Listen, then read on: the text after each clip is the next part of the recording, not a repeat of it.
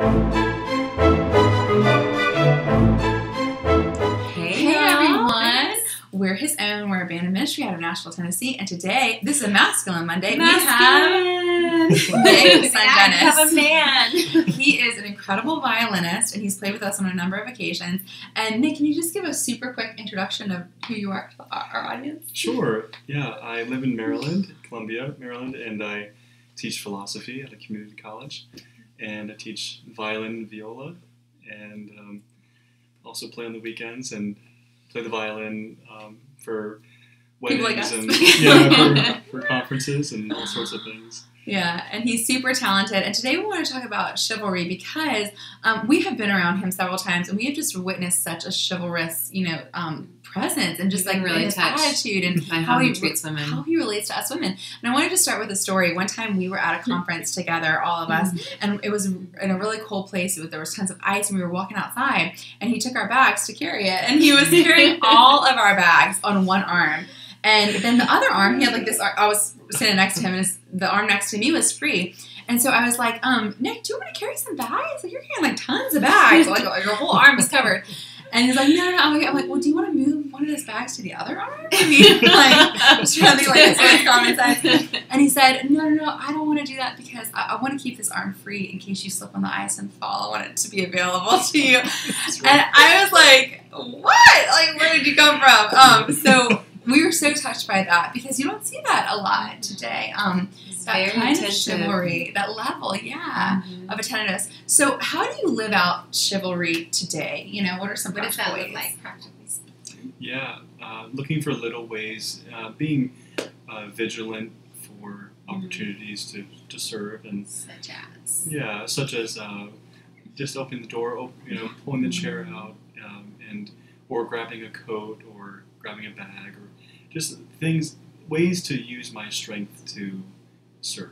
You know, Mm. because if I don't use my strength, then I'm wasting it. You know, so it's, it, it doesn't fulfill its purpose. So, it, strength is meant to be given away. So, and it doesn't doesn't mean it have to be heavy lifting necessarily all the time. It could just be a little thing, but uh, Yeah.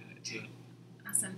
Well, tell us, how did you learn to do this? Is this something that you it just came naturally? You're just born with it. You know, you're four years old, and you're like, "Mom, I got this." Here's what you know, is it something that, that you learned from someone at some point? Has been a pro- Mm-hmm. process, or what's your story with that? yeah, I would say it was a process of seeing older guys who were role models for me, Mm. and uh, whether at um, taekwondo uh, class or school or uh, seminary or other other things, and and just seeing seeing that and observing that virtue and noticing I was lacking in that and needed to be more attentive and, and and just learning you know for missed opportunities you know what could I have done better and uh, that sort of Saint Jose Maria Escriva um, mentality of if you mess up you just pick yourself up and, Love that guy. go forward beautiful. yeah. That's awesome. Yeah, That's that's so beautiful. and the saints too just you know trying to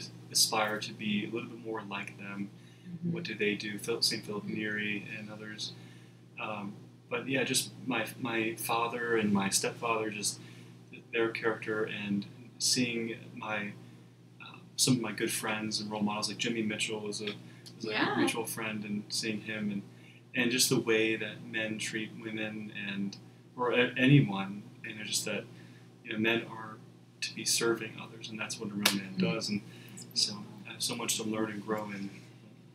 It's awesome. So, do you have any advice for the men out there who are Yeah. listening? Yeah, guys. So, so um, I would say it's not disrespectful to offer a hand or or to help out, Mm. and I think it's it's it's not that women can't you know do these things themselves. They're perfectly able to and strong enough, but we it's can open doors. it's not you know? yeah. So it's not a, a it's not disrespect or not acknowledging their strength, but just acknowledging my strength is just to be at their Mhm. service.